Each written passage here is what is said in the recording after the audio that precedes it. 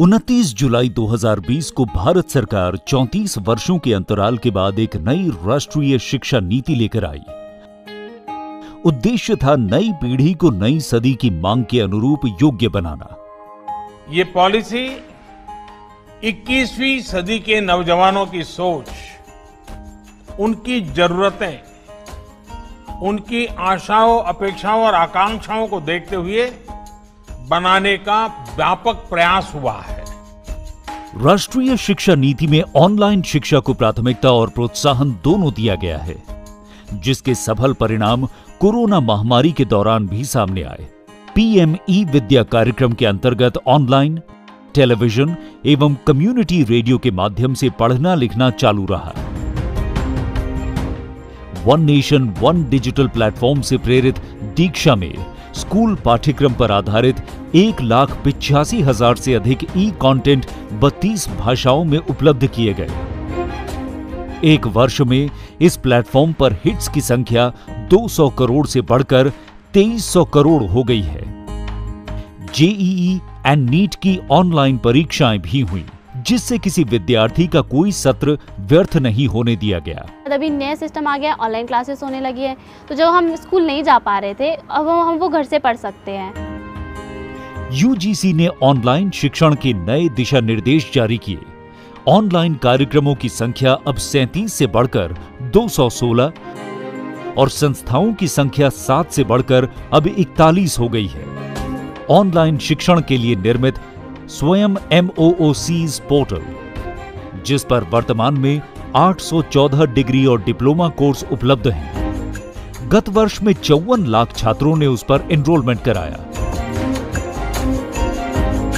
इस नई नीति से भारत में पढ़ने आए विदेशी बच्चों को भी हमारी सुदृढ़ व्यवस्था का लाभ मिला है I'm from Cameroon.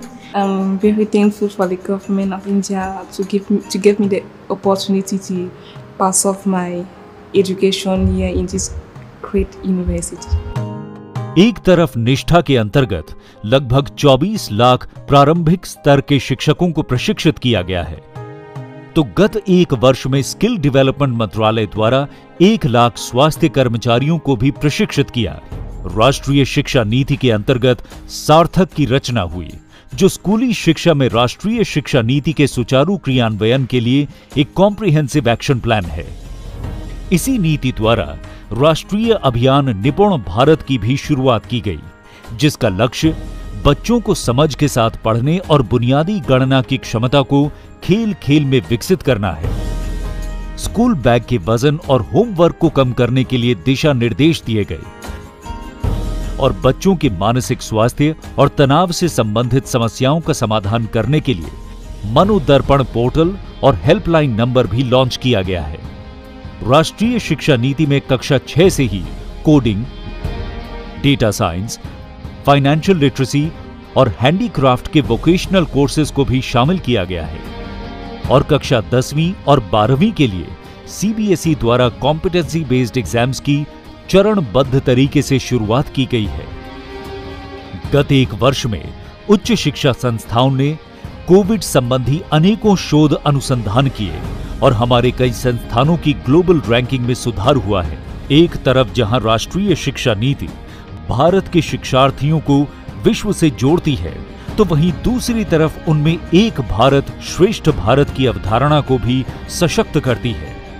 नए भारत की आत्मा को प्राथमिकता देती और हमारी युवाओं को 21वीं सदी में अपनी पहचान बनाने के लिए तैयार कर रही है नई शिक्षा नीति।